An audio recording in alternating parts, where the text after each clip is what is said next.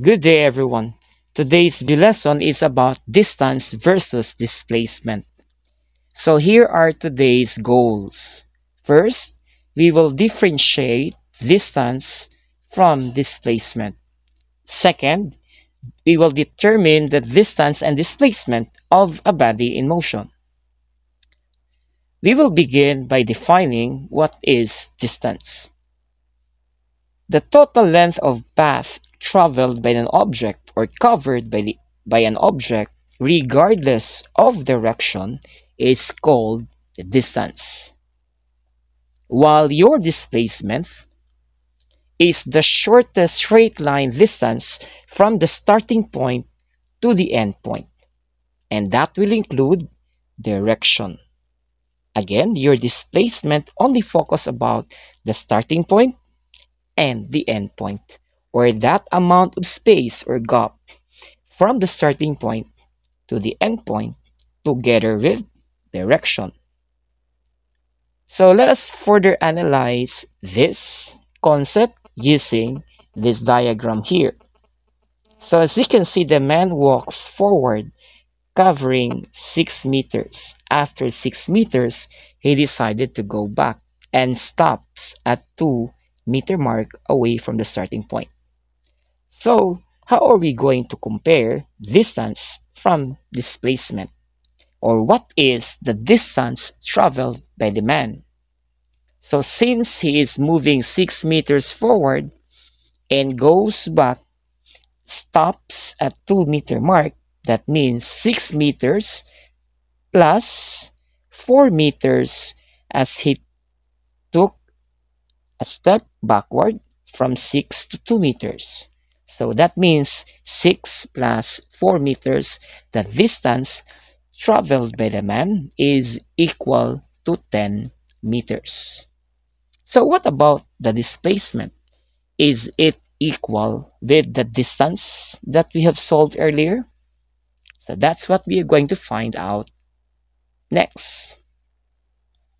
So for the man's displacement, as I mentioned earlier, we are only going to consider two points. One, the starting position or the initial position, and the final position.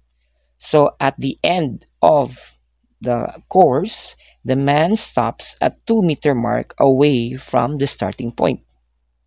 Therefore, the displacement of the man is equal to 2 meters.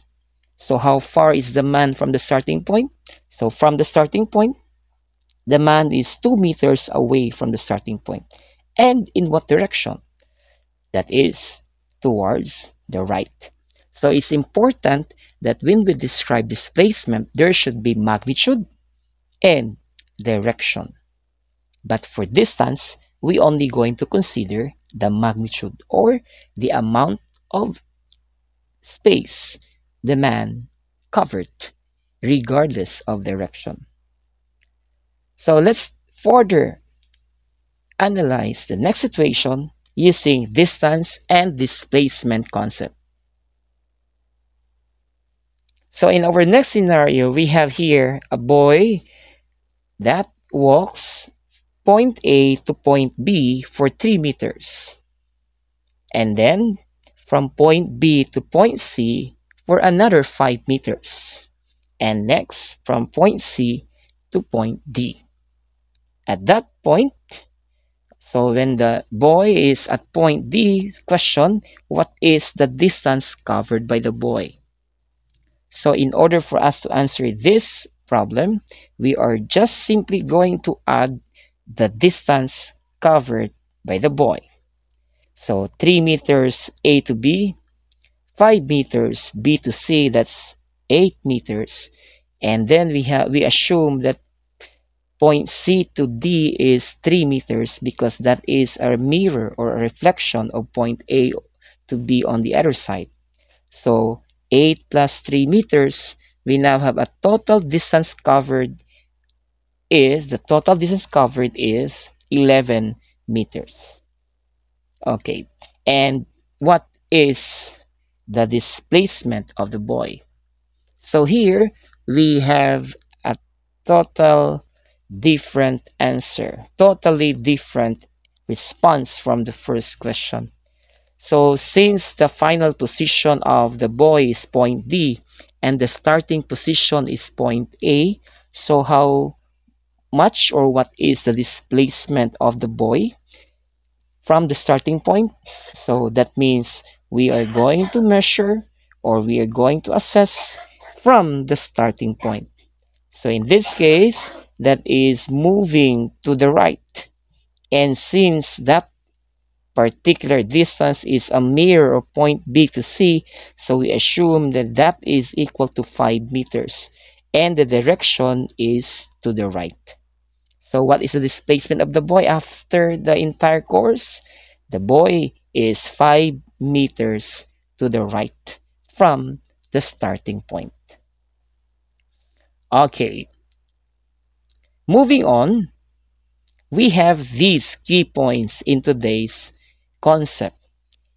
First, distance is considered a scalar quantity since it only talks about magnitude without direction. On the other hand, your displacement is a vector quantity since it has both magnitude and direction. Another, distance depends on the actual path taken regardless of direction, while displacement depends only on the initial and final positions that will include the direction.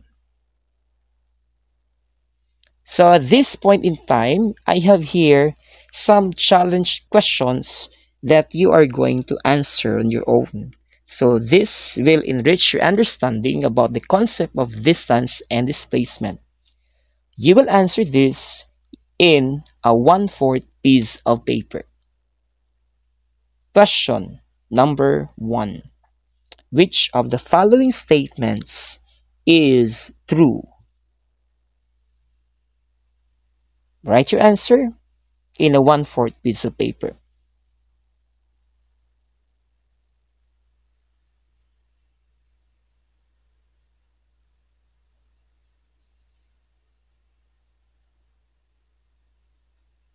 Question number two or item number two.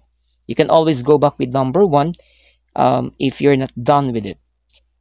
Number two, if a car moves in a straight line without changing direction, is its distance and displacement are blank.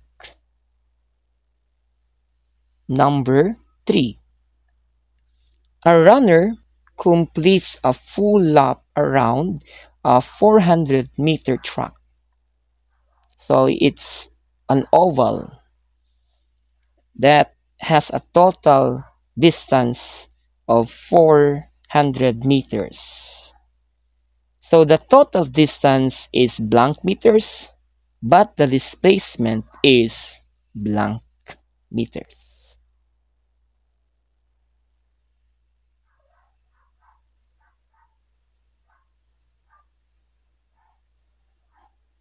And finally, a cyclist moves 12 meters north, 5 meters east, and then 12 meters south. So you can draw a, you can draw a diagram that is implied in this problem. So 12 meters going north, next 5 meters going east, and then finally 12 meters going south. So you are going to answer what's the answer these questions. A, what is the total distance traveled? And B, what is the displacement? And take note, your answer should be complete. If it's a magnitude, then write the unit. For distance, you uh, I mean for direction, you include what direction is part or what direction that describes your answer. Okay, thank you so much, grade 7, for your time and patience in following our video lesson. And let me end our session by saying, keep going, keep growing. King Juan Learnings, embrace learning.